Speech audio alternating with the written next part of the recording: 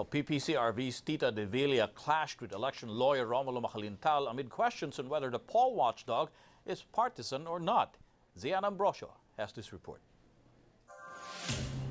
Insisted Hindi na lahat sila. nga, A tense exchange erupted between Parish ah, Pastoral Council for Responsible Voting Chairperson Tita De Villa and election lawyer Romulo Macalintal at the CBCP forum on Tuesday. Macalintal is questioning the poll watchdog's independence amid several parishes and dioceses endorsing candidates. Particularly the Diocese of Bacolod and its controversial Team Buhay and Team Patay campaign. Macalintal says the PPCRV should change its name to MRV or Movement for Responsible Voting. Sa ngayon, wala pa kayong nahuli kahit na sino man na miyembro ng PPCRB na nangampanya.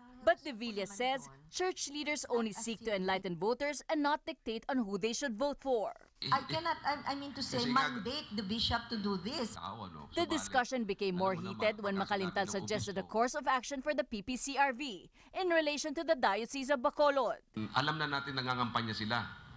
Ah, but then, sabi nila, basta kami, PPCRB pa rin kami, and as, ah, tuloy pa rin silang bilang volunteers, wala kayong magagawa doon. Father Francis Lucas of the CBCP maintains the PPCRV is non-partisan. Pastor Tita De Villa cannot dictate on the bishops. Catholics can endorse. Endorse is not forcing you to vote for somebody. De Villa adds representatives of the dioceses have not yet inhibited as members of PPCRV. Z. Ann Ambrosio, ABS-CBN News.